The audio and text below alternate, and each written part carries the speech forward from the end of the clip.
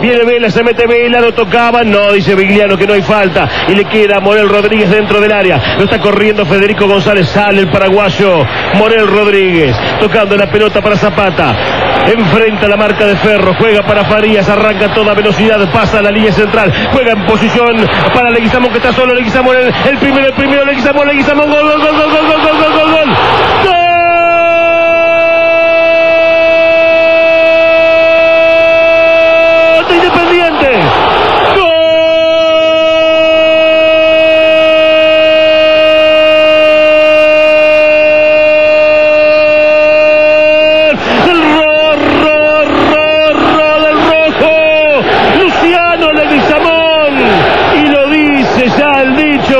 La tercera es la vencida. La pelota la alargó Farías para Vargas.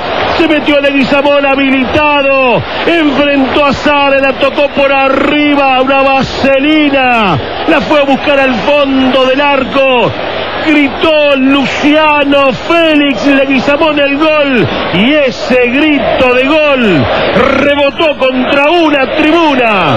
Independiente 1. Rafael a franja derecha. Centro Farías, centro Omar Ferreira, gol del rojo. ¡Gol!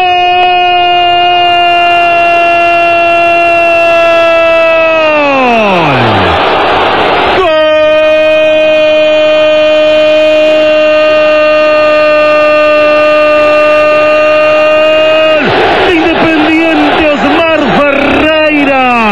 El centro fue Tecla Farías.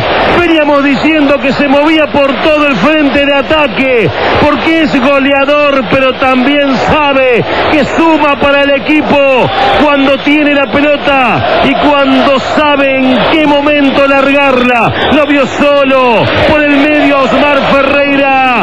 El malevo en el área no perdonó. Sara quedó a mitad de camino y el Tolo sube, sigue sumando.